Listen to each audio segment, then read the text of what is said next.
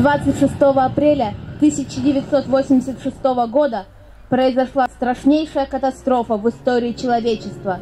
Как справедливо заметили авторы этой постановки в сквере у памятного знака ликвидаторам, хотя с тех страшных событий прошло уже 32 года, этот день заставляет нас задуматься о возможных последствиях деятельности человека. По разным источникам, но считается, что около 600 тысяч со всех уголков нашей страны. Это и мобилизованные из запаса, это и действующие военнослужащие, это добровольцы были направлены на ликвидацию этой страшной трагедии.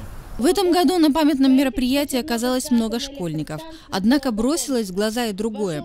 Значительно поредели ряды ликвидаторов. Многих сегодня нет. Конечно же, это большое горе. Ну, жизнь берет свое. Вечная память тем, ребятам, которых сегодня уже с нами нет. Ну а вам, ребят, желаю бороться теперь только с болячками, держаться и держаться. Участники мероприятия по традиции положили цветы к памятному знаку. Кто-то думал о родных и знакомых, кто-то почтил память всех ликвидаторов, погибших от радиации в дни аварии и не доживших до дня сегодняшнего. В современной истории они – герои, спасшие миллионы людей ценой своей жизни или своего здоровья.